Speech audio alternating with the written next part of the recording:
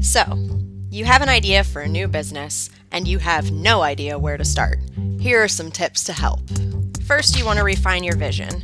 Make sure you have a clear picture of what your company looks like, what you do, and how you do it. Next, it's time to partner up. If you have a candidate for a business partner, it may be worth it to bring them on board. Next, you want to identify resources. What do you have at your disposal that can help you achieve your goals? Then identify channels for new resources. How are you going to get the things you need in order to be successful? While you're brainstorming about how to build your business, you want to think about your customer. This could take a little bit of detective work, so you'll want to get out of the building. Don't just sit at home and brainstorm. Go out and test your assumptions in the real world and see if they hold water. The most important tip I can give you is not to give up.